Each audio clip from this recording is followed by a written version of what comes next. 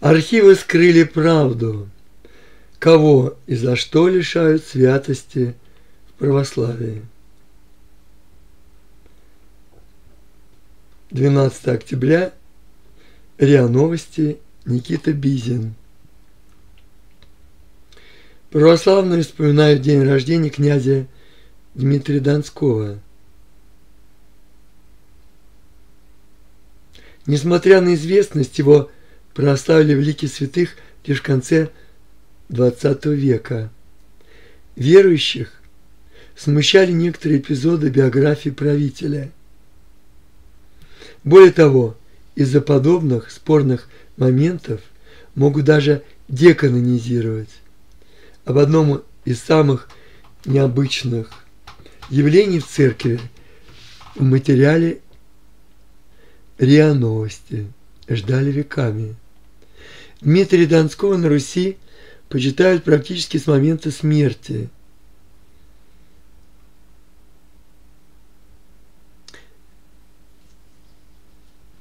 Все же его признали творцом победы в Куликовской битве – хотя официально не существовало ни икон, ни молитв ему посвященных. Это странно. Нельзя сказать, что у церкви не было оснований для канонизации князя.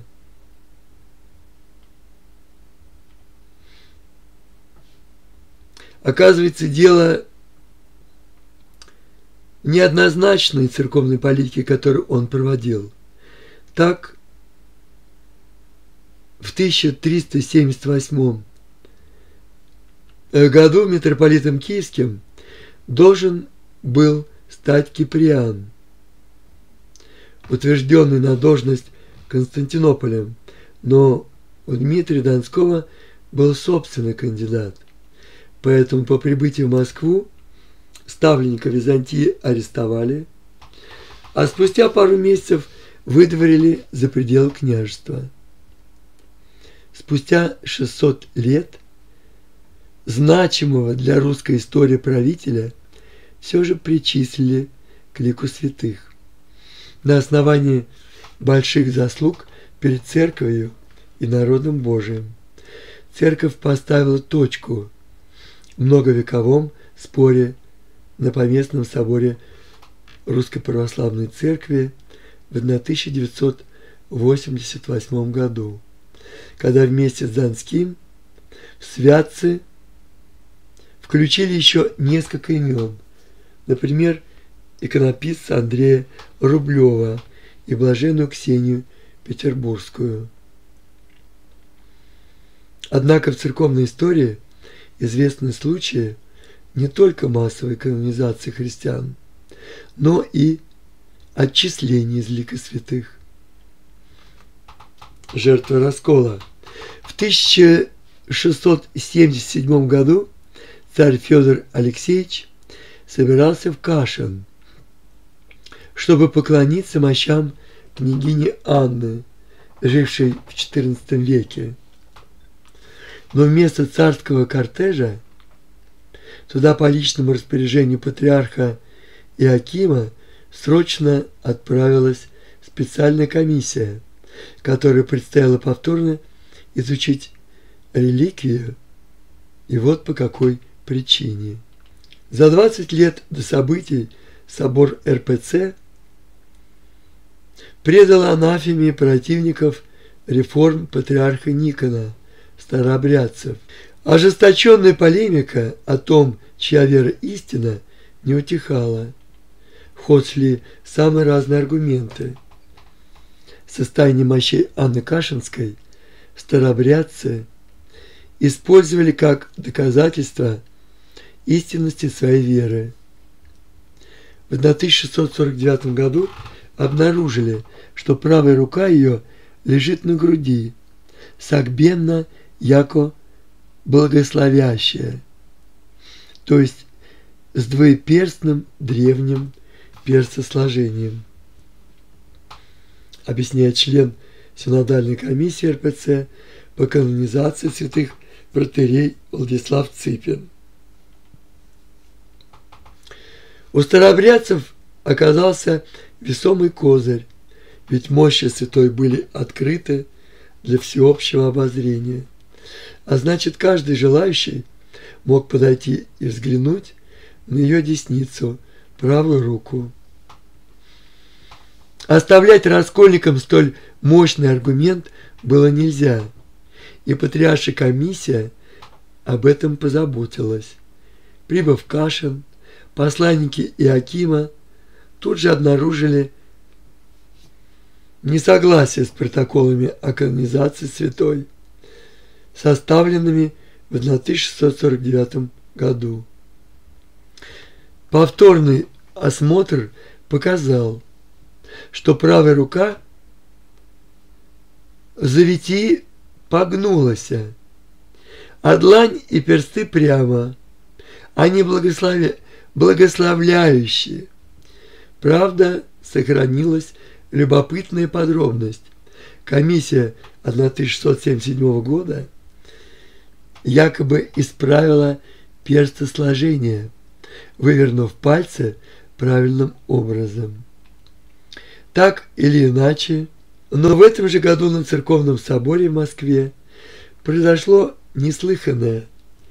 Имя Анны Кашинской вычеркнули из святцев – Иконы уничтожили, ее храмы переименовали, мощи закопали в землю, а могилу замуровали так, что не осталось следов. Два с лишним столетия благоверная Анна была вне церковного поминовения.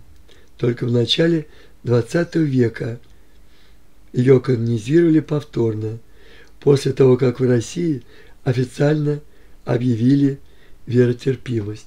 Массовая декан... деканонизация. Случай с Кашинской необычный, но не единственный. Уже в наши дни статуса святого лишили сразу три десятка человек. Летом 2012 из Веденского монастыря в Иваново увезли мощи Василия Кенешемского – Епископа причислили к лику святых в августе 2000 года. В ряду новомучеников и исповедников российских, тех, кто пострадал за веру в годы советской власти. Куда перемещают мощи, не сказали. Известно только то, что делали это по распоряжению патриарха. Впрочем, белых пятен стало еще больше, когда в церковном календаре на 2013 год не оказалось имени святителя. Решения о его деканизации не было. Но и в святцах он не значился. Закономерно возник вопрос, епископ святой или уже нет. Судьбу Василия Кенешемского разделили другие 35 новомучеников. Их имена также исчезли из церковного календаря.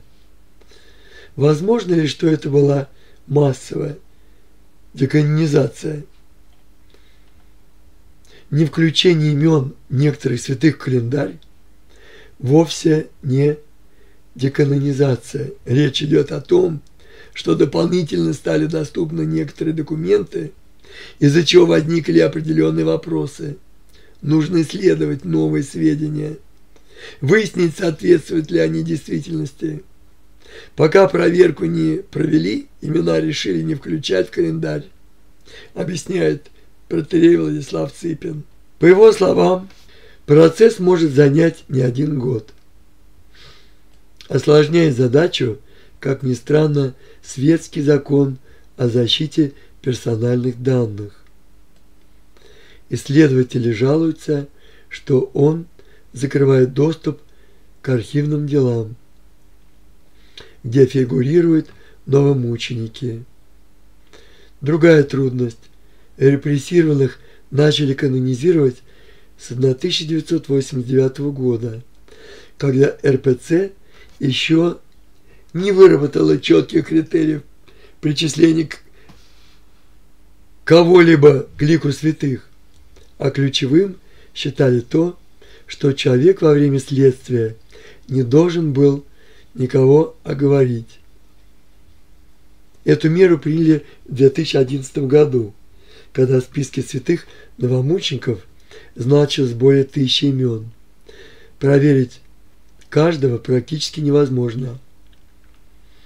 Не вся информация доступна, поэтому в РПЦ временно исключили из святцев 36 имен. Если говорить о мощах тех святых, кого не включили в календарь, они останутся мощами, никуда не денутся.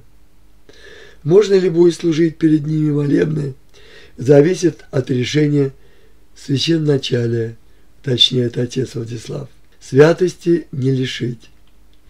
Несмотря на эти прецеденты, официально понятие деканонизации не существует. Процедура канонизации прописана, говорит протерей, и решение о ней принимает только церковный собор. Обратный же механизм даже не предусмотрен канонами.